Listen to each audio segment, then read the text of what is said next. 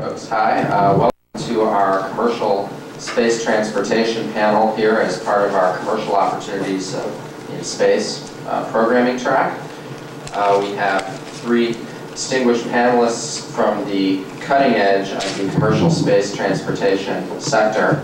Uh, Peter Diamandis, who is currently uh, Executive Vice President of the startup company International Microspace, uh, which is a uh, which has been around for now how long? Two years? Two-year-old company? Thereabouts. Thereabouts, two years. Uh, David Thompson, who uh, needs no introduction, but I'll go ahead and say anyhow, is president of Orbital Sciences Corporation. And we have Jim Bennett, who is uh, former president and co-founder of the American Rocket Company. And so uh, what we'll do here is we'll have uh, each of our panelists come up and, and, talk for a little while about their uh, company, their, their programs, and their view of the future of commercial space transportation. And then we'll have a little Q&A session at the end of their talk, so if you could just sort of write down your questions and hold them until uh, we get done with each of them. So uh, why don't we start off with uh, David here, and please. Good morning, uh, ladies and gentlemen. Actually, I'll tell you what, before I get started, I, since I brought along, along, along a lot of these things, let me uh, just hand out um, some background information on uh, OSC, for those of you that would like to learn a little bit more about the company. Um, Clyde Jordan was going to describe us as a startup too. Peter, Peter will soon get tired of being described as a, as a uh, leading uh, executive in a startup, and Jim and I are almost outliving that uh, title. I, and I'm not sometimes sure we want to outlive that title, but other times we probably do. Um, Orbital Sciences Corporation actually just uh, had its 10th birthday in April. Um, so I don't know whether that means we're, you know, entering into the, the terrible teens or, or something, but uh, uh, we've had we've had a lot of fun and we've worked really hard over the past uh, 10 years to to create a company that uh, we're pretty proud of today. I always like uh, hearing Tom Rogers speak. I don't know how many of you were in here in the previous session. I think Tom is just great. Um, we're struggling with many of the challenges that he described. This is a very difficult industry in which to build a business, and as we're finding out, a very difficult industry in which to keep a business uh, uh, going and, and, growing once you've got it started. It doesn't really seem to get uh, much easier as uh, we get a little bigger and as the years go by. We focused on establishing a strong uh, market position in, in small space systems, and I think that probably applies to the work that uh, both Peter and, and Jim's companies have, have also worked, worked on. We're engaged in, in two related but distinct businesses, uh, and we call those the, the, space technology products and the satellite-based uh, services.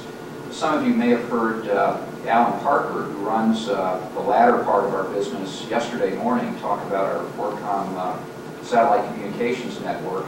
So I won't spend a whole lot of time talking about that today, other than to tell you that's really a terrifically exciting project for our company and a, and a big investment. It's a big bet. Uh, we've unfortunately, seems, seems like about every two or three years over the past decade, we've had to bet our company on something, and we're now, in a sense, betting our company on ORBCOMM. And I think it's a, a good bet, not a certain one.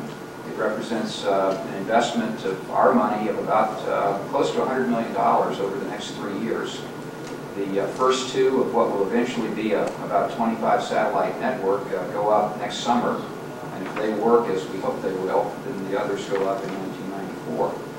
So uh, we are really trying to, with uh, the ORBCOMM project as the first of our, of our big satellite-based service uh, initiatives, to uh, uh, develop a service that uh, can be can be affordable and useful to a very large number of people in this country and around the world. We're really seeking the first mass marketable commercial space product with the ORBCOMM system, and others are you know hot on our trail, so it's a very competitive field. And, whoever gets there first will uh, uh, have the strongest position, so we're working uh, very hard to try to get there first. What I'm going to talk about this morning, though, is, is uh, uh, the, the, first part of our business, our, our core business of, of, space technology products, and specifically because this is a, a session on space transportation, uh, our uh, launch vehicle products. Uh, Let me give you a little bit more background on the company, though, before uh, jumping into that. Uh, We are a leading supplier of, of small space launch vehicles and of suborbital uh, vehicles, and we're a, a strong contender, not, not the leader, but a, a strong contender in uh, small satellite systems and orbit transfer uh, vehicles.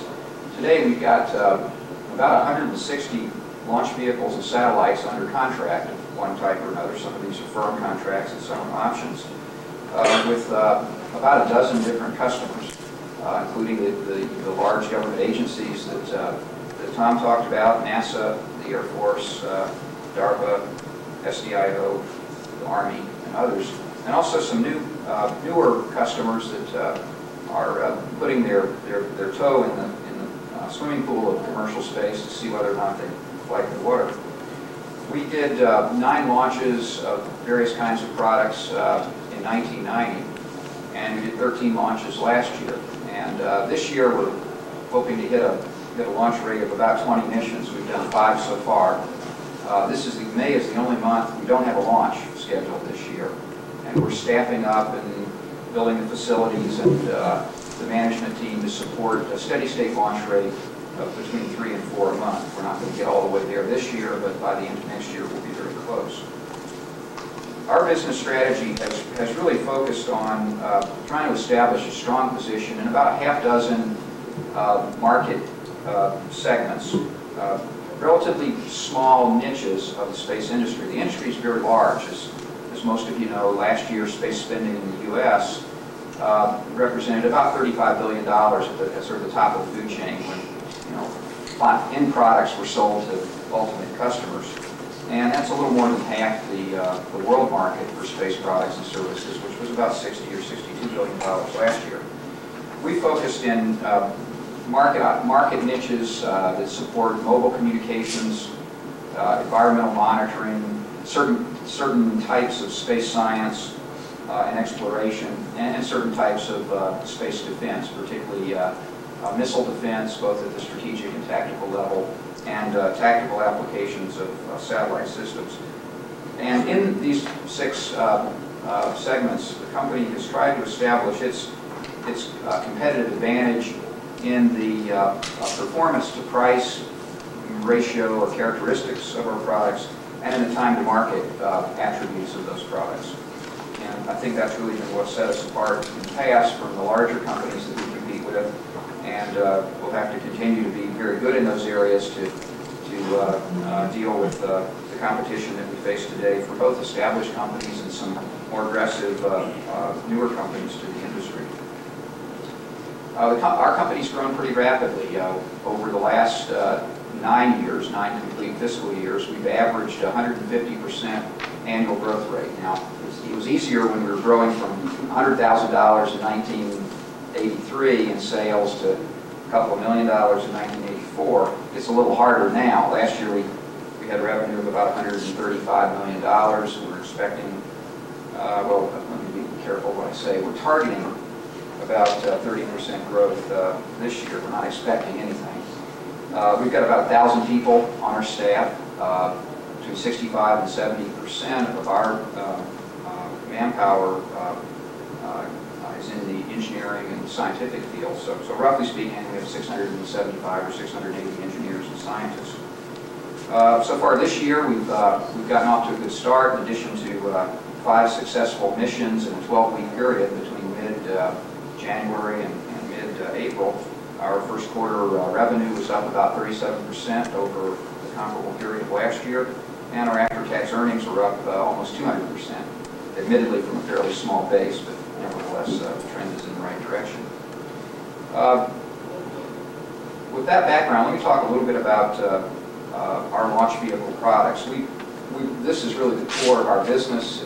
Uh, transportation systems represented uh, about uh, 68 or 70 percent of our sales last year, and within a within a company that's growing at kind of rates I talked about, they will they will continue to represent roughly two thirds of our business uh, this year. In the space transportation area, the company uh, develops and produces products in three lines, uh, space launch vehicles, suborbital launch vehicles, and orbit transfer vehicles. In the area of space launch vehicles, uh, we're probably best known for our, our Pegasus rocket. Uh, Pegasus was uh, developed as a private venture. No government funds were uh, used in the uh, design, development, or testing of Pegasus, although uh, DARPA, the uh, Defense Advanced Research Projects Agency, did become an early customer for Pegasus and provided quite a bit of assistance in getting through the flight test program, which we finished up last year. Um, Pegasus, as, as a result, is the world's first um, privately developed Earth-to-space uh, transportation system. And uh, it's the first all-new uh, rocket that's uh, been developed in this country in about 20 years to put uh, satellites into orbit. We've got uh, about 60 orders for Pegasus rockets now. And uh, these rockets sell for, you know, something in the range of 10 to 12 million dollars, depending on various factors. We've had two launches of uh, Pegasus so far. One, the first one in April of 1990, which put two satellites into orbit. One was a NASA spacecraft, and the other was a Navy satellite. And the second launch, which was uh, in July of last year, launched seven small communication satellites for the Defense Department. The next launch is coming up within the next, uh, six weeks or so. We have a couple of more launches of uh, of Pegasus uh, later this year. One of the things that's, that's different about Pegasus compared to other launch vehicles is that we don't launch it from the ground, we launch it from an airplane. Uh, we use an airplane to fly as high and as fast as it can go, carrying a 20-ton or soon 25-ton launch vehicle under underneath uh, the airplane. And what that means is we usually get to about 40,000 feet and uh, a Mach number of about a little over 0.8. And at that point, we uh, drop uh, Pegasus from the airplane like the old uh, X-15 used to used to be launched, and uh, off we go on a about a 10-minute ride that uh, culminates uh, in low low orbit. Uh, we do this because uh, we found that uh, in small launch vehicles, all, all the companies you're going to hear from today are working against the flip side of economies of scale. Uh, down at the very low payload end, you've got kind of diseconomies of scale as things get smaller because there are fixed weights and fixed costs. Uh, avionics uh, don't scale, uh, the weight or the cost of an avionics system doesn't scale in uh, linear fashion with the uh, payload weight of a rocket, nor, nor do the cost of the structure, the propulsion system, or any other aspects of, of these vehicles. So we've got to work especially hard to use technology and uh, in our designs and very efficient manufacturing and, and assembly approaches in our operations to really drive the cost down. We've made a lot of progress in that regard with Pegasus, but uh, we intend to make a lot more uh, over the next couple of years. We found by launching from an airplane, we can just about double the amount of uh, cargo that we can put in space compared to taking that same rocket, same technology level, and launching it from the ground. And that turns out to be the result of sort of some obvious factors like the kinetic energy and the potential energy that you get by using the airplane, kind of like the first stage, and also some factors that aren't uh, quite as obvious. Uh, you designed the rocket motors to operate at uh, lower ambient uh, pressure and get a better uh, specific impulse from those motors as a result. In addition, uh, Pegasus has a big wing on it. It, if, you, you're familiar with the rocket, it, it's about uh, 50 feet long and generally cylindrical in cross-section, about five feet across, and mounted on the top of the rocket about two-thirds of the way from the nose to the tail is a big delta wing, about 22 feet across, made, made out of uh, graphite composite. We use that wing to really shape the trajectory of Pegasus and fly it like a, um, like a very high-performance fighter air, aircraft from the point of release from the airplane up to the time we drop the first stage in the wing, at which point we're going about Mach uh, 10 and we're at typically 200,000 feet. So it's a, it's a pretty wild uh, ride during that first uh, 70 or 75 seconds. Uh, in fact, on the next Pegasus launch, we're going to have two cameras, one facing backwards and one facing forward on the rocket itself to uh, really give us a very interesting view of uh, what it's like to, uh, to ride something that flies faster with a wing than, and, and using that wing to generate aerodynamic lift and maneuver than any other vehicle in the world, unless you believe some of the recent reports in Aviation Week about uh, mystery, mystery uh, airplane that are being tested. And we still may go faster. Uh, We've, uh, as uh, uh, Peter has done in his work and as as Jim and his colleagues have pioneered at AMROC, we've tried to really push technology with the Pegasus, not so much to get performance to go way up, to get cost to go way down. And we're not finished doing that. We're, we did achieve about a threefold improvement in the performance to price ratio compared to previous existing vehicles in the Pegasus class.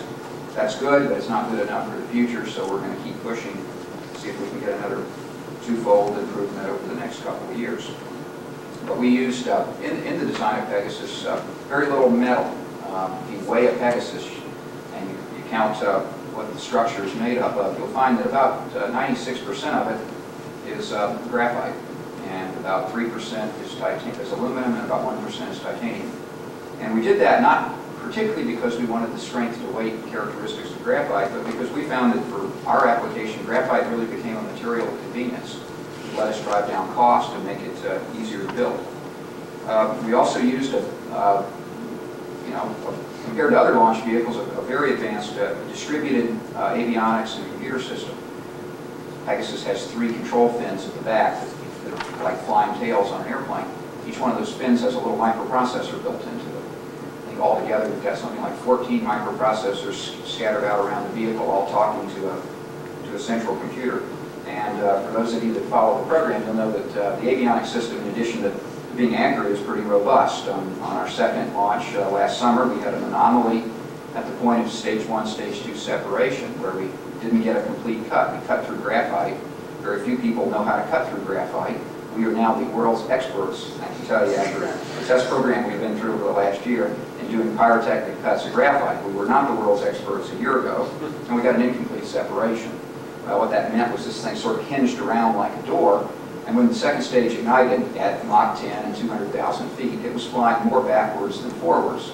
So we did a little bit of a maneuver and a little bit of hypersonic stunt flying that you know, nearly gave us all heart attacks. The avionics system got us back on track. We made it to orbit, although we lost about 450 feet per second. We recovered about a third of that by retargeting in real time. We couldn't recover all of it, so we ended up in a little bit lower orbit than we anticipated. But we've certainly got a very robust avionics system. I wish we didn't have to uh, prove it through that kind of flight demonstration. We're going to make sure we don't do that again. Uh, in any case, that uh, I think is going to be a very good product for the company, and I think it's going to it's going to make possible a range of defense, scientific, and commercial missions that uh, a lot of people are very anxious to carry out, and we're, we're seeing that uh, with the market response uh, so far to that product. We also have another space launch vehicle called Taurus. Taurus development was initiated about three years ago, and its first flight is coming up in in the near future. In fact, the very first Taurus uh, vehicle will be is, is in assembly now, and it will be rolled out uh, about the middle of July. So things are going well in that program, although it is still in the R&D phase, and, uh, and uh, we have a number of challenges ahead to, uh, make sure that it, uh, it does the job that we want it to do. So those are our two launch vehicles. Last year, those two products represented about 25% of our revenue, and I think they're going to turn out to be very successful ones for us in the future. We also are involved in other transportation products. So we, we are the market leader in suborbital vehicles that are used for defense, scientific, and increasingly for commercial missions. And when I talk about all these launches we have this year, 20 or so launches, uh, two-thirds of them are suborbital vehicles. We launch those from various places around the world, uh, places you're familiar with like uh, Cape Canaveral, Florida, Vandenberg Air Force Base, California, Wallops Island, Virginia.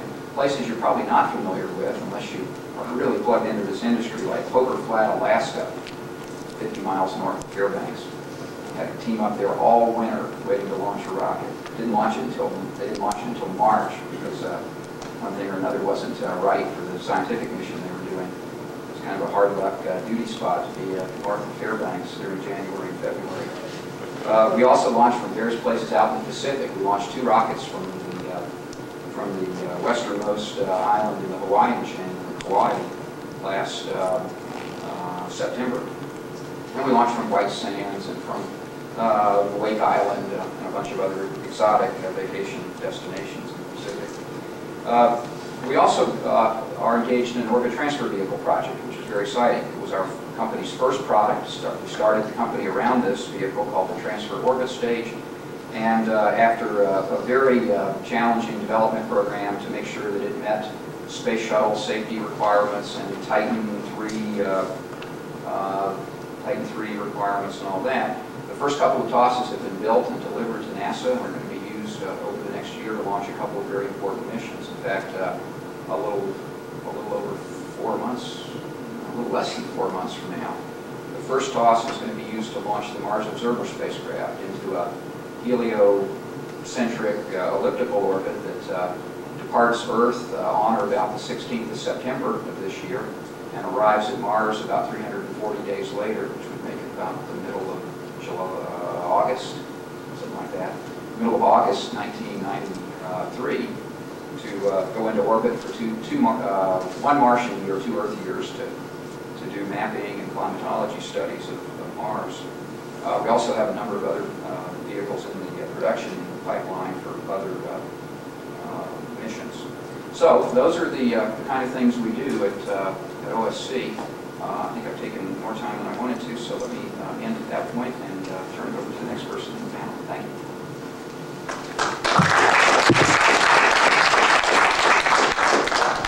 Thanks, David. Uh, Next, I would like to uh, ask Jim Bennett to come up and talk to us about AMROC experience. Unlike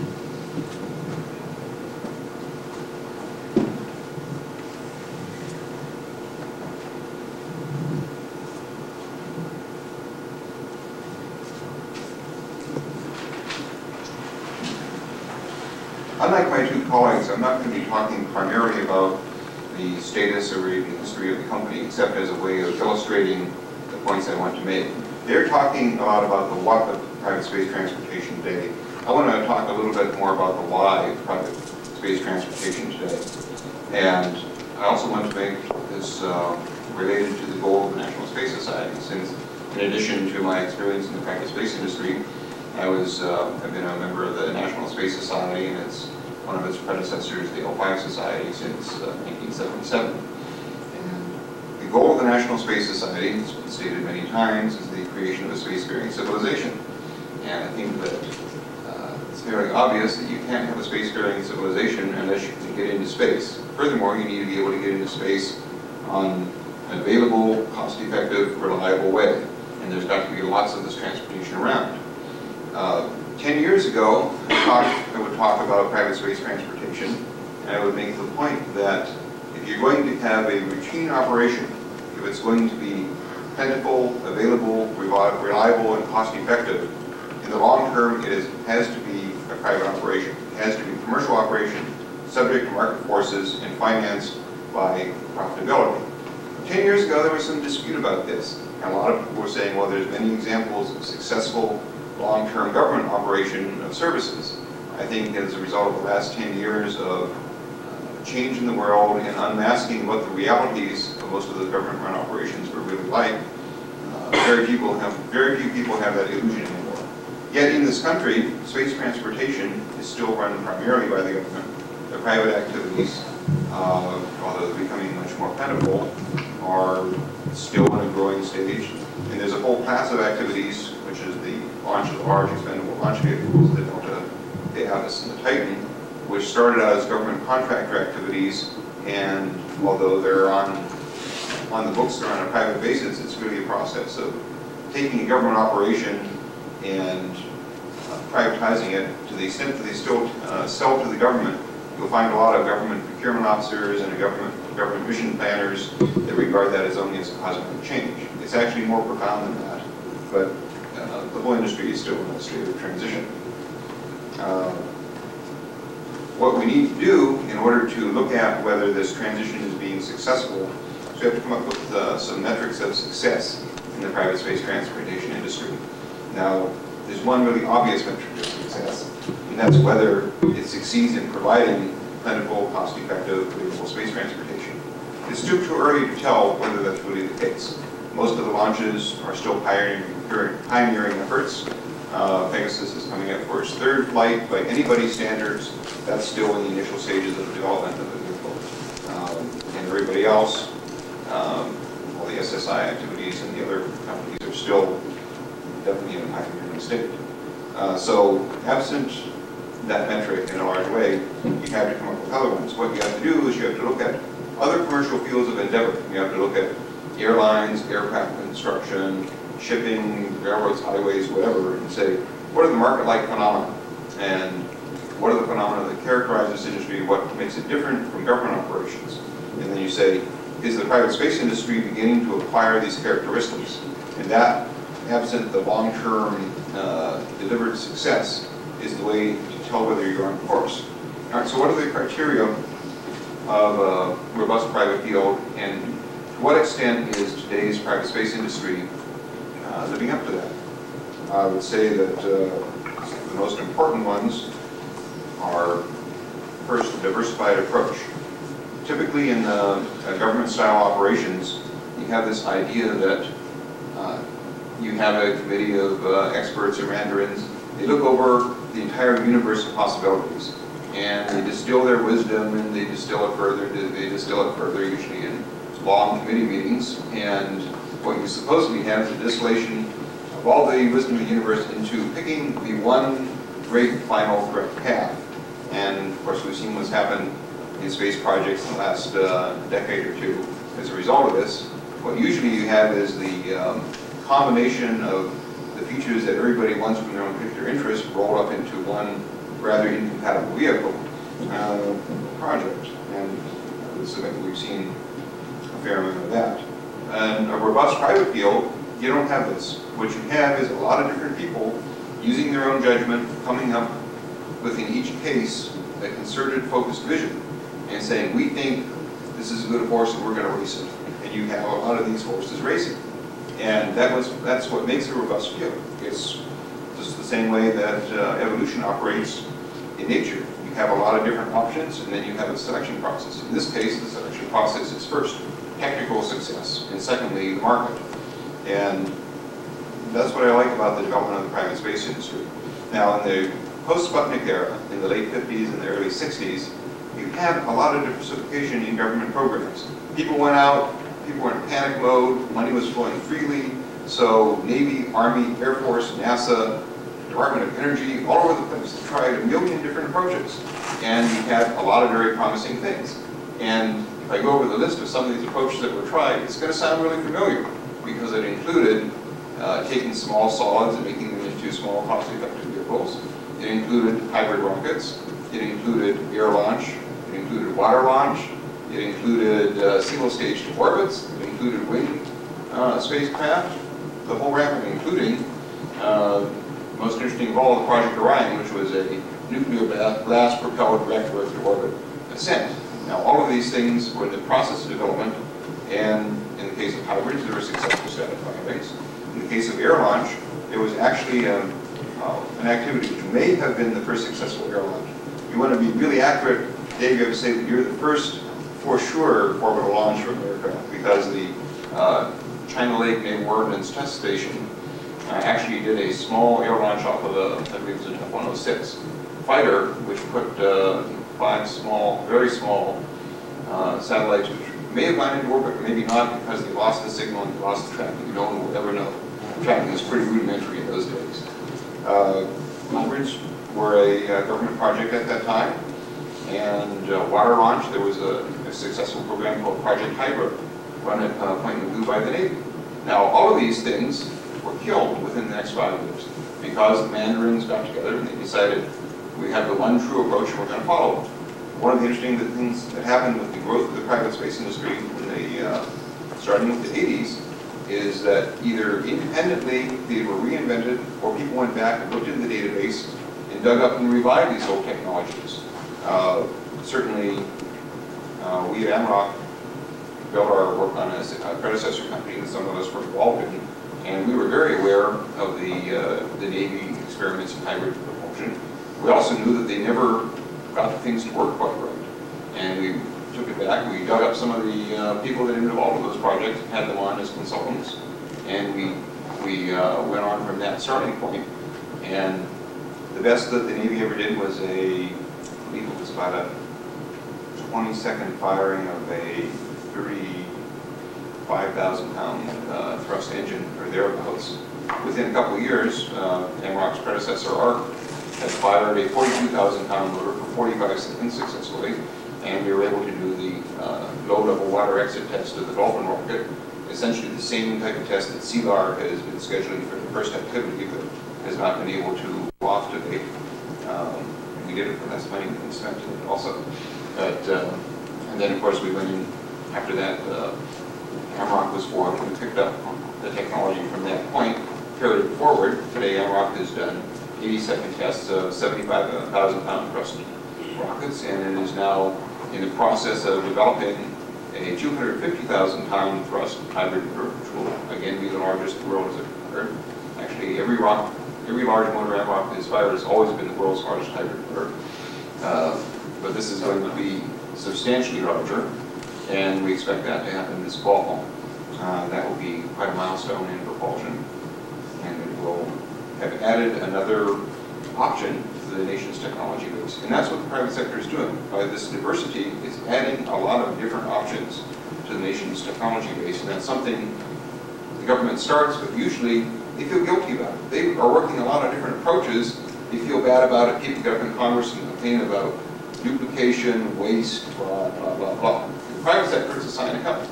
And that's why in the private sector, these uh, projects get carried to conclusion, where in the government, eventually somebody gets embarrassed and shuts them down. Uh, It's not too bad, because then you can take the employees that worked on it and hire them into a private firm and uh, bring the uh, project to fruition. Now, another uh, sign of health is the segmentation by market. Uh, Diversity not only means diversity of technical approach, it means diversity of where you think the action is going to be in space and where you think a particular technology has a uh, competitive advantage. And obviously, Dave looked at the, uh, the market and said, uh, air launch of a winged vehicle has a particular advantage in the small satellite area because there's an obvious limitation of how much you can put into orbit according to how big the available aircraft are around to launch it. So essentially, you're buying your first stage made by the commercial aircraft industry, and you're limited to the choice of first stages which are available unless you have a lot of money to put into development of a very large first stage there. But uh, that's been a successful targeting of a niche market. Once you have that niche market available to you, then you can go and look for all the different things you can do with it. You can look, how does empower you?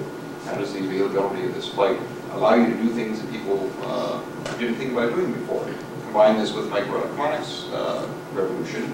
Dave's come up with ORBCOMM as one of the fruits of that. That's exactly the process that needs to be happening in the private space industry.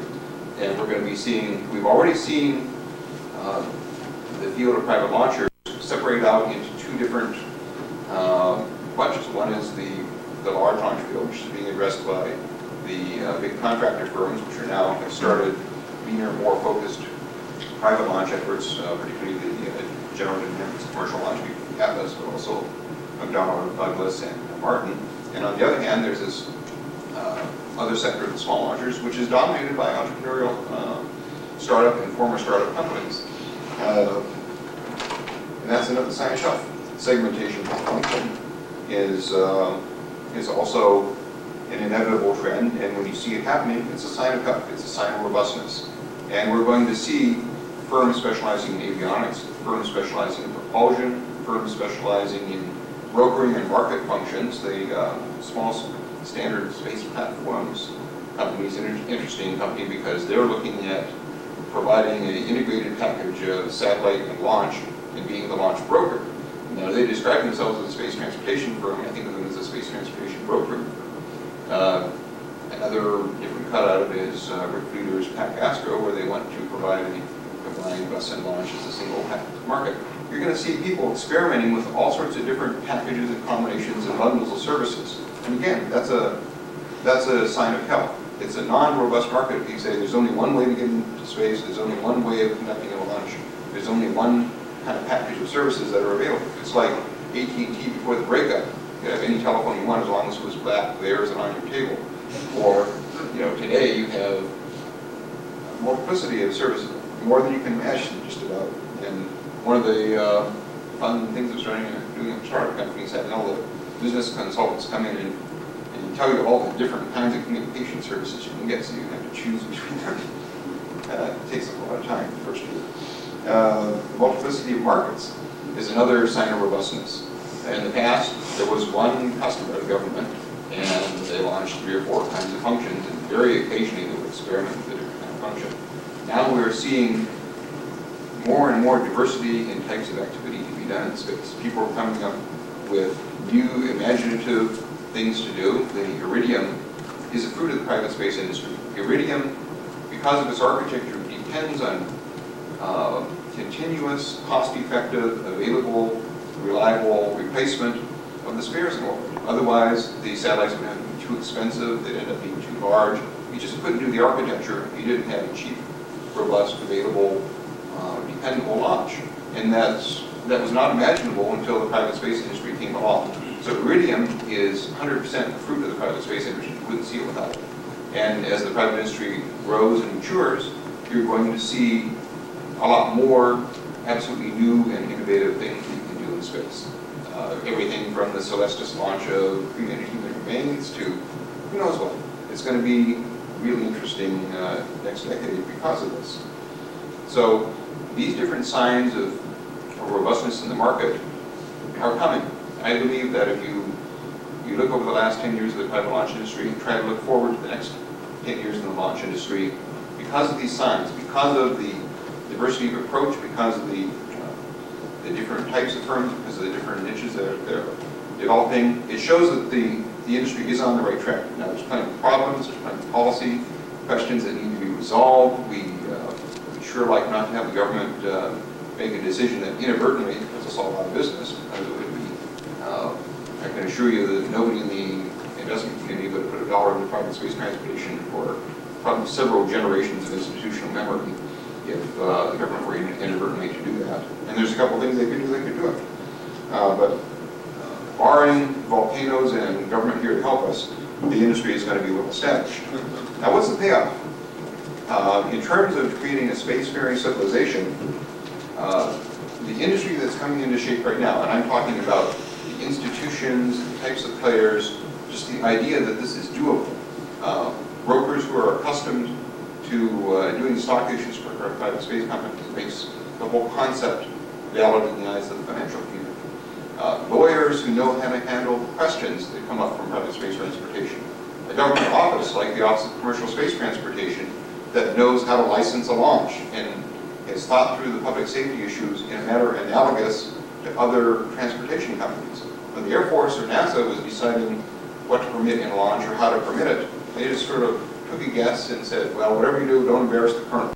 And that was the criterion that uh, most of the rules came in on. And the range safety rules are an accumulation of 30 or 40 years of trying not to embarrass the colonel.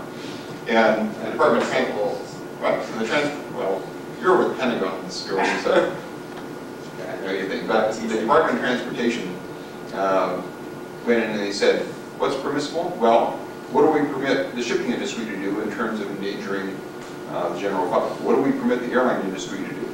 All this. And they put them on a commercial-like basis. And that's a whole separate talk, so I'm not going to go into it. But I look at this as like the, uh, similar to the first years of the 19th century, when uh, people in the shipping uh, industry got the idea that instead of having random ship owners kind of sail up to the dock and advertise for passengers and then take off, they start shipping lines and they have regularly scheduled sailings from England to America and back again. They have schedules you count on, you have timetables, you'd sell tickets, it would be all organized in a structured fashion. Now they did this with wooden sailing ships and the same technology that had been around for 300 years unchanged. The British Navy had had warships that were on the books for 120 years as functioning warships because the technology was so static. And it was that static technology they used to start the shipping lines. But the infrastructure was created for. Lloyd's and the whole shipping industry learned to accommodate regular shipping. And when steamship time came, it was not necessary to sit down and invent the whole structure to accommodate the steamships de novo. You didn't have new firms. It was firms like Cunard that had been established with wooden ships. Or just, they went down to the shipyards and they ordered iron ships, they ordered steamships, and they got going. And in a way, what we're doing is like those first years. The private space industry that's starting now may be using rocks that are 30 years old in design. Some of them are, some of them aren't. Uh, Some of the new technology that's being started now will be the technology of the future. Others will be replaced pretty quickly. But what I do know is if we're going to see frequent, cheap, available sailings to space from Earth, if the uh, single-stage orbit is going to work and it's going to deliver space transportation, we're going to need, it's going to have to be done under private auspices, and the institutions that are going to accomplish those flights are being created by today's private space industry. Thank you.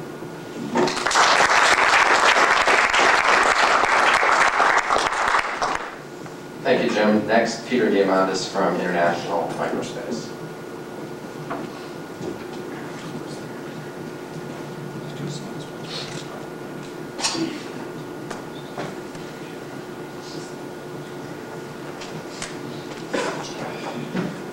I try and just keep this uh, brief so you can ask me questions. The question part is the most exciting. But there was a question in the second session, commercialization. How do you get a space company going? And, uh, how is commercialization ever going to work? Well, my favorite story for how you commercialize anything is a child's book. It's called Stone Soup. I don't know if you guys know it. I think it's probably the most important uh, message I can convey here.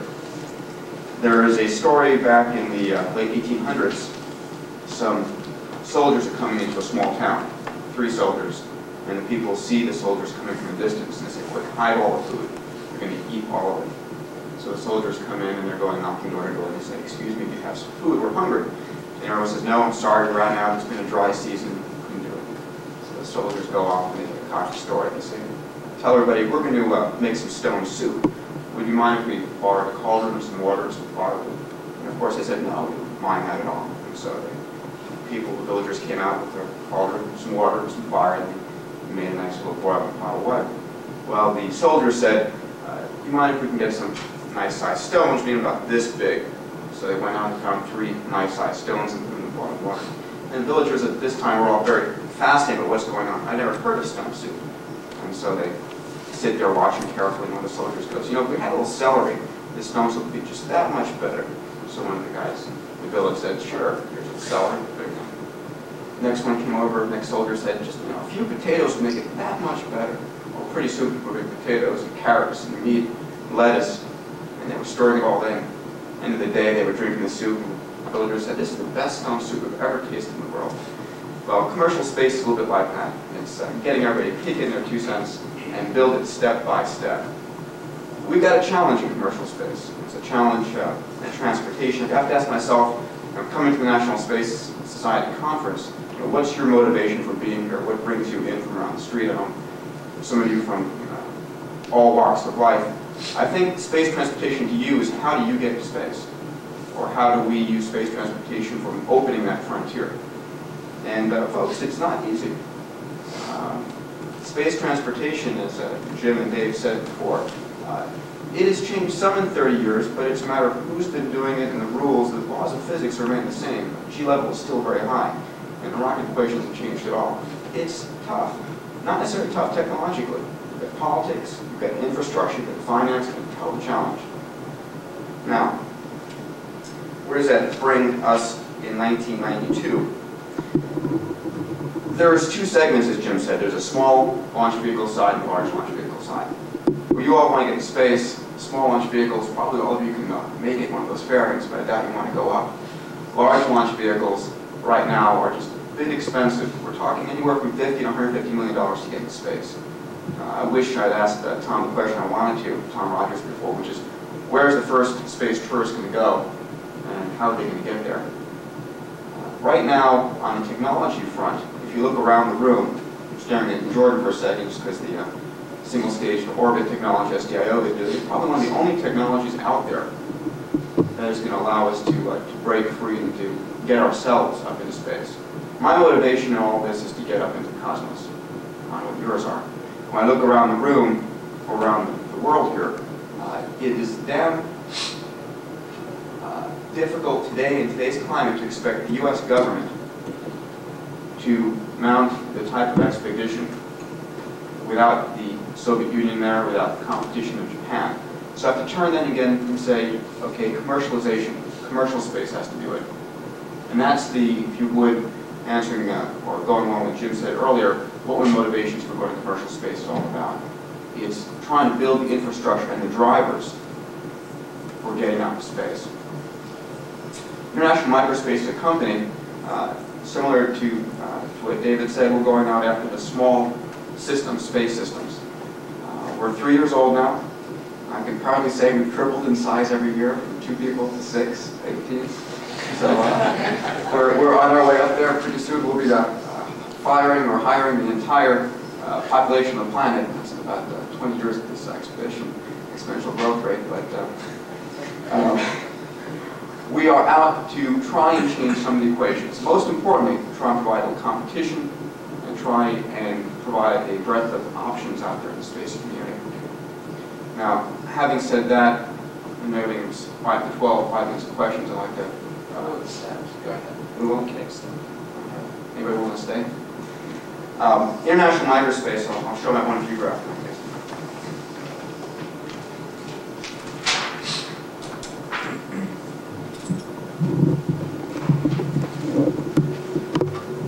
Just one rocket picture.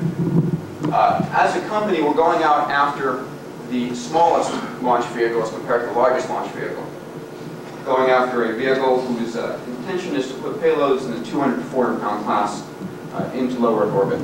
We're using solids which are off the shelf, have been in production for years to tens of years, which have a, a damn good reliability. We're not out here to challenge the technology issue. We're out here to challenge the cost and availability issue of space. Uh,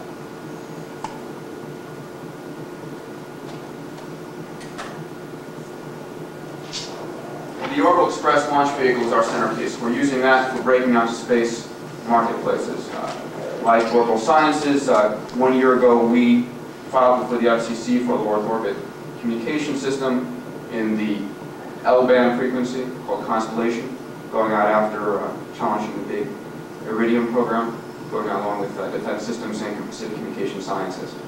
What we need to do is develop a commercial space industry. It's not there yet. Hopefully in a couple years it will be.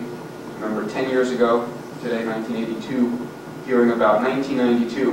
Can't wait for 1992 to come here. It's the big year of space station. Uh, it didn't happen. Uh, quite frankly, commercial space may not happen the same way. We have to make it happen.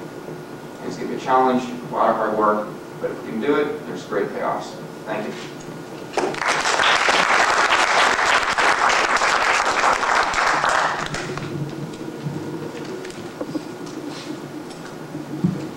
And uh, if anybody's got any Q and A for our panel here, I see my hand in the back.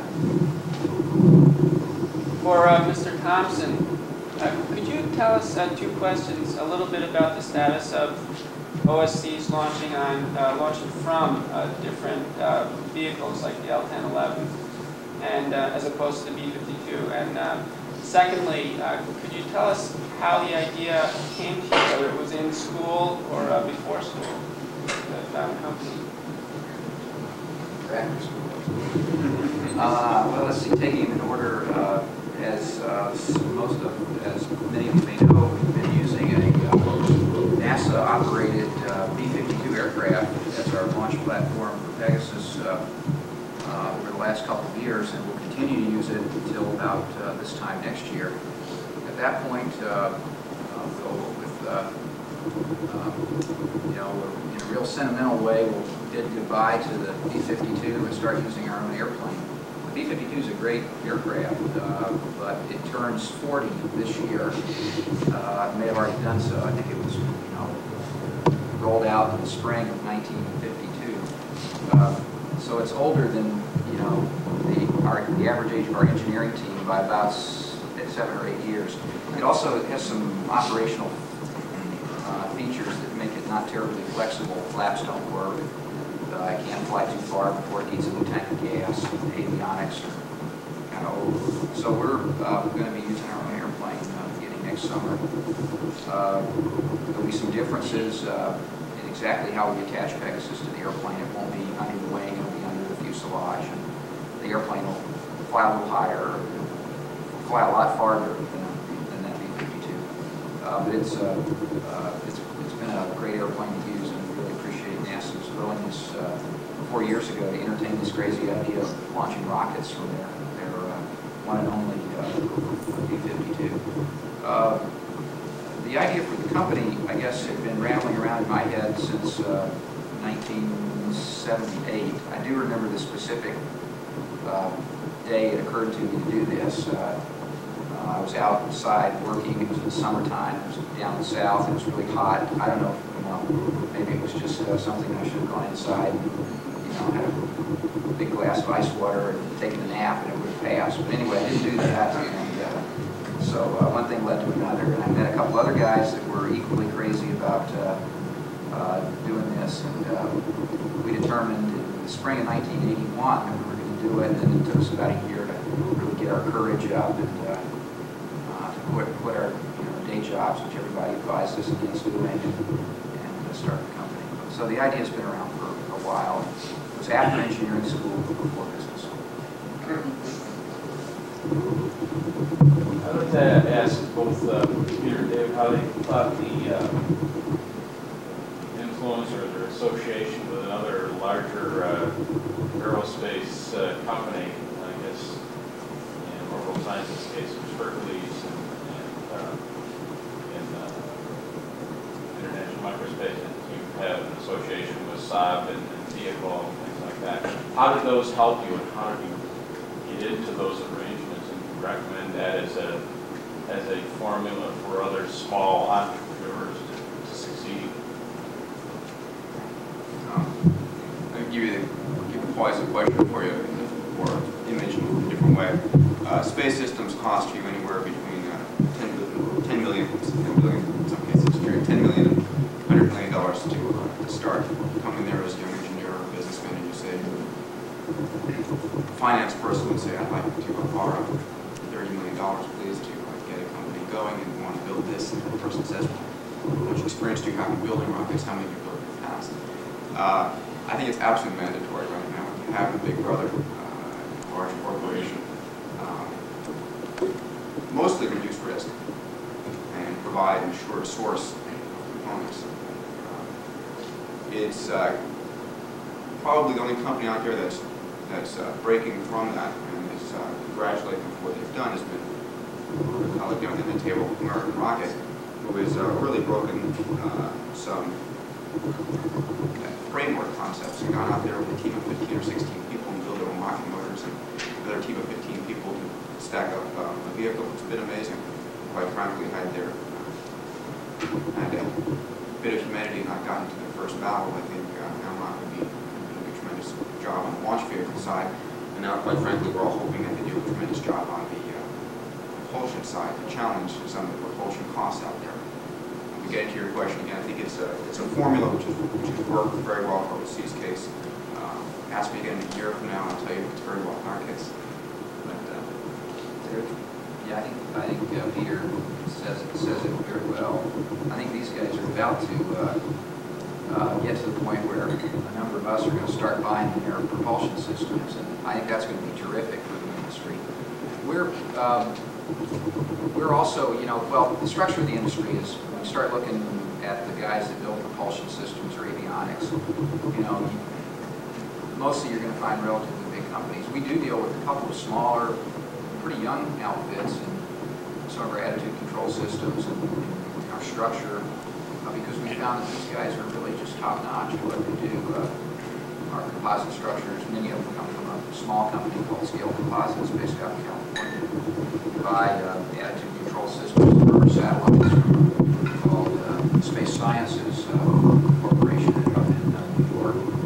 Uh, But, uh, you know, um, on the other hand, uh, with Martin Marietta, with Hercules, with Hughes, probably with others I'm not thinking of, we've had good um, partnerships with bigger companies. Sometimes there are, there are impedance mismatches, you know, we want to do things a little faster, they take a little more risk, they want to think things through a little more, and, uh, um, you know, sometimes we, we argue and have arm wrestling matches, but, but I think the results have been really favorable so far for us, and I think for our partners, I- I- at least in the three cases I mentioned, I know they do.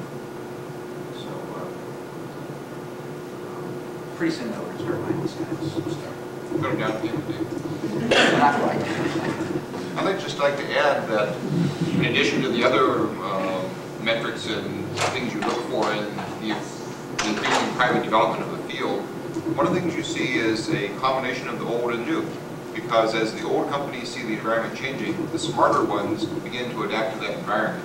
One of the things they do is form partnerships with the younger innovative companies.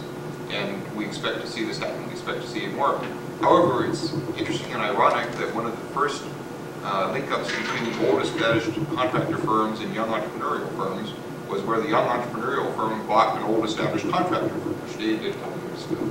And you're going to see uh, these creative link-ups happen in both directions maybe some of the directions you hadn't even thought of. She had absolutely no cultural mismatch associated with it. So I,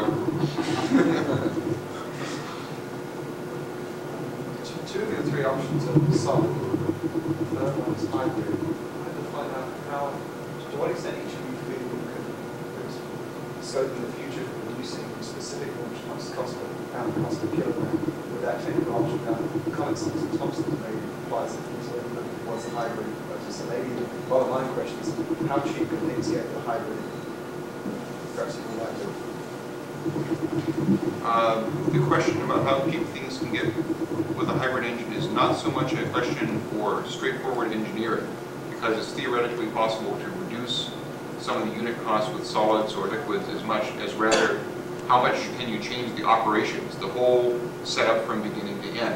And the newer the start of the company, the less you're invested in an old way of doing things, more savings you're going to realize from a hybrid. Because what it means is your manufacturing plant can be cheaper because you don't have this explosive mixture being handled on the premises. And AMROC's always been able to operate in light industrial zone facilities. We've operated near trailer parks, schoolyards, et cetera. Once, you know, you calm down the fire marshals and explain what's really happening, they're, uh, they're perfectly happy let this happen. I've had to eat fuel samples in front This is a safe house. And uh, likewise, when you get up to the launch pad, once you actually convince the Air Force range safety officers that this thing really won't explode, they'll start letting you do things that save you a lot of money in the operations. Uh, If you were, for instance, to use hybrid as a replacement for the shuttle solid rocket booster, I think would save something like 37 out of 150 days of processing the motor inside the assembly facility because there's a lot of critical steps where you have to clear the facility of all unnecessary personnel because of the safety in certain steps, and that, that takes, that takes days and days out of the processing flow. Hybrid, you don't worry about it, you just let it happen. Uh, so that's a roundabout way of saying that hybrid can deliver substantial cost savings in an actual launch operation. Uh, how much of the savings you get, you can't tell until you've really gone through and reconfigured the operation. Part of it is uh, these really uh, difficult to describe things like to what degree you can really uh, convince the range safety officers that they can uh, go back and change some of the old standing rules because they're no longer necessary for safety. Um, The best situation would be to have an entirely new uh, private spaceport where the rules were designed, the facilities were designed from the start to take advantage of these uh, capabilities. However, uh, some of the calculations that our chief designer, Bevin McKinney, has done is that hybrid propulsion ultimately you might be able to get your cost down below $1,000 per pound for launch, perhaps as low as 600 Uh, Let me, I, I- just add a couple points there, just for, putting some numbers on the table for reality factor. Uh, In an average launch vehicle, if you look at uh, uh, Pegasus, Orbital Express, whatever the case might be, uh, your propulsion costs are going to end up being somewhere between uh, 30 and 45 percent of the.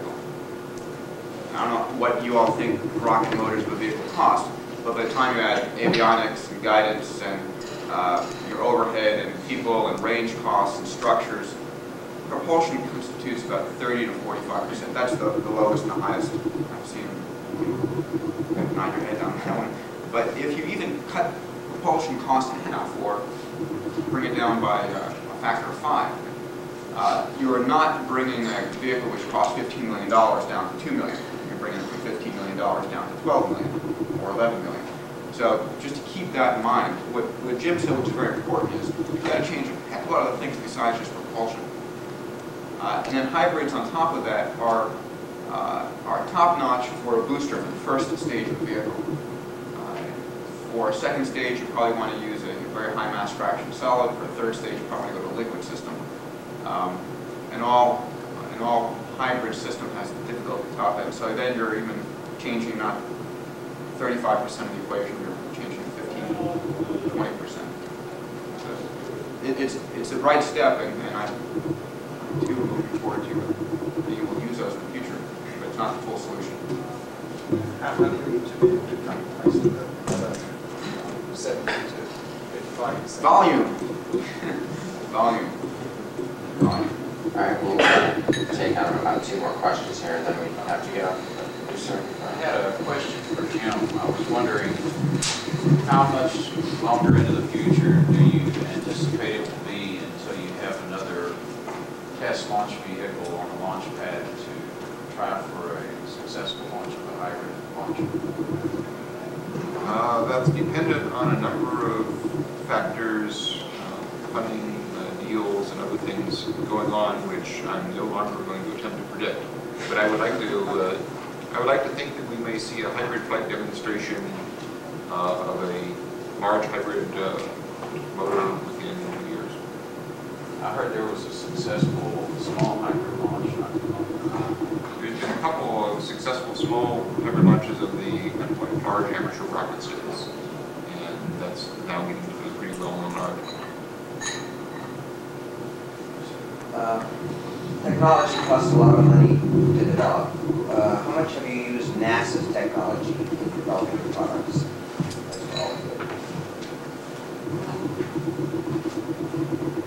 well? Um, sometimes it's a little hard to know whether, whether to label something as NASA's uh, technology or the Defense Department's technology.